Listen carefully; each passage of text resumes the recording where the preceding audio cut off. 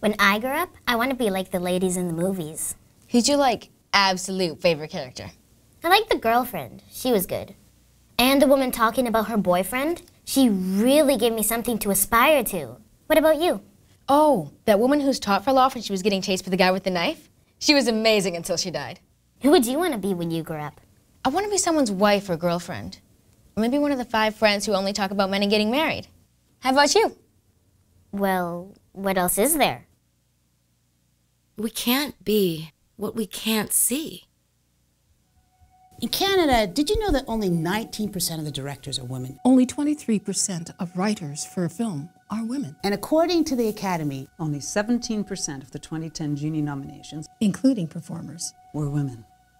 In each of the five years chairing the ACTRA Awards in Toronto, finding similar intensity, uh, close up, or general camera time for the female nominees was a problem. Our stories just aren't being told, you know.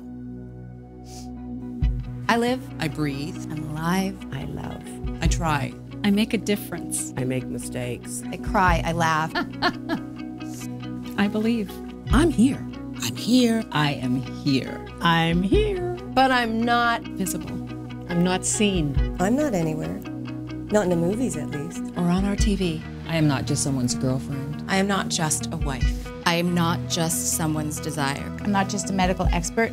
I'm not just a witness. I'm not just a victim. But I never get to be a girlfriend. I will not be invisible. I am not no one.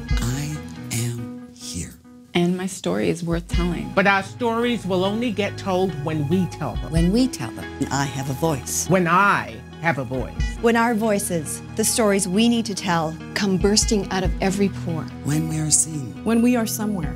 Beauty comes in every package. And I want art that represents us, where women matter. In all our beautiful selves. Perfectly imperfect. Big, small, fat, thin, brown, black, white, gay, straight. All of us. All shapes, ages, all colors, and abilities. We can't complain about a society where young girls want to be reality stars when we're not giving them anything else to aspire to. So let's dream. And give dreams. Let's reach. And put into reach an industry of equality, inclusion, power.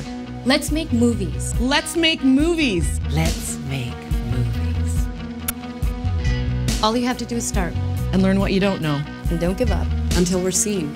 Until we are seen. And heard. I am here. I'm here. And here. Let's make